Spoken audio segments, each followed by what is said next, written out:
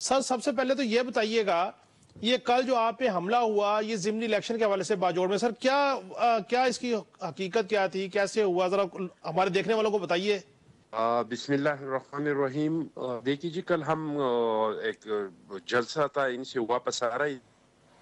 तो रास्ते में गाड़ी पे बम हमला हुआ अल्लाह का लाख लाख शुक्र है और माँ बाप की दोस्तों की दुआएँ हैं।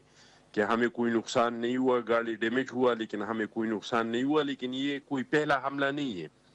हमारे जब इलेक्शन शुरू हुआ है तो तकरीबन कोई चार पाँच जो कैंडिडेट है, इन पे हमली हुई है।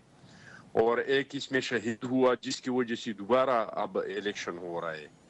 और जब से ये अफ़गानिस्तान में अमारत इस्लामी का हुकूमत आ चुका है जिसके बारे में हम कह रहे थे कि हमारे दोस्त है और इससे पहले जो हुकूमत था, उसको हम कह रहे थे कि इराक का हुकूमत है, खाद का हुकूमत है, मुसाद का हुकूमत है और ये चले जाएँगे तो यहाँ पे अमन आ जाएगा। तो वहाँ जब हमलों में बहुत तेज़ी आ चुकी है और तकरीबन जब से ये नया साल शुरू हुआ है तो कम अज कम टारगेट किलिंग में बम के हमलों में, हमारे बाजोड़ में कम अज कम ये दो तीन महीने में कम अज कम कोई अट्ठाईस, उनतीस लोग जो है, ये शहीद हुई हैं और कोई सौ से ज़्यादा लोग जख्मी हो चुके हैं।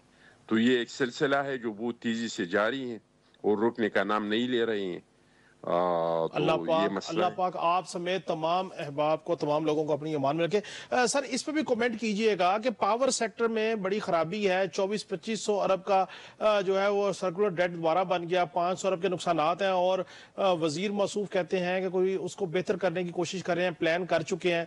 और ये भी हकीकत है कि इस मुल्क की आवाम के साथ जो सबसे बड़ा जुल्म हुआ वो ओवर बिलिंग का हुआ।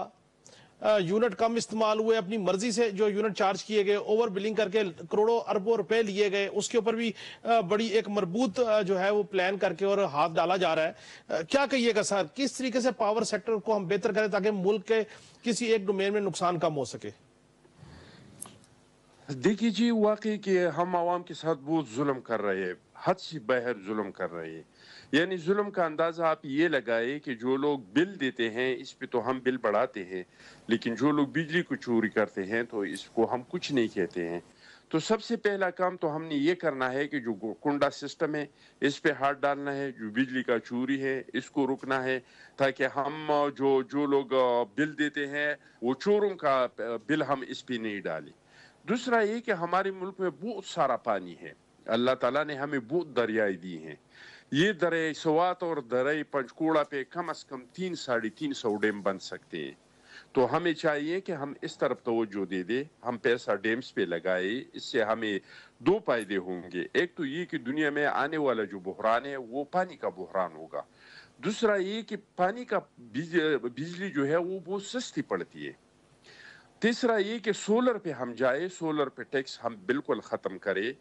और सोलर को बाहर से मंगवाए या यहाँ पे इनके प्लांट्स लगाए और बहुत सारे घरों को और ऐसी चीज़ों को, हमारी दुकानें हैं या ऐसी चीज़ें हैं जो सोलर से चल सकती है, उसको हम सोलर पे करें और जो हमारी बिजली है वो हम इंडस्ट्री पे करें तो बहुत बेहतरी आ जाएँगे। लेकिन बदकिस्मत ये है कि हम पहले से जो लोग टैक्स देते हैं, इस पे टैक्स बढ़ाते हैं, लेकिन टैक्स का दायरा जो है, उसको वसी नहीं करते हैं। जो लोग पहले से बिल देते हैं, इस पे हम मजीद बिल डालते हैं। जो चोरी का पैसा है, जो बिजली चोरी हो जाते हैं, वो भी इन लोगों पे डालते हैं। तो मैं समझता हूँ कि वाकई आपने सही कहा कि हम बहुत जुल्म कर रहे हैं अपने लोगों के साथ।